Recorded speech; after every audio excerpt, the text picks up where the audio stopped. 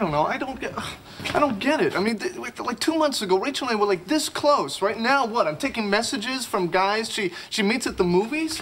I mean, this this Casey should be taking down my messages, you know, or or Rachel and I should be together, and, and we should get some kind of m- message service. Hang in there. It's gonna happen. Well, okay. Now, how do you know that?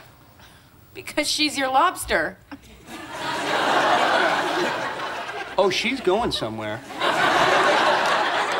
Come on, you guys. It's a known fact that lobsters fall in love and mate for life. And you know what? You can actually see old lobster couples walking around their tank, you know, holding claws. Like,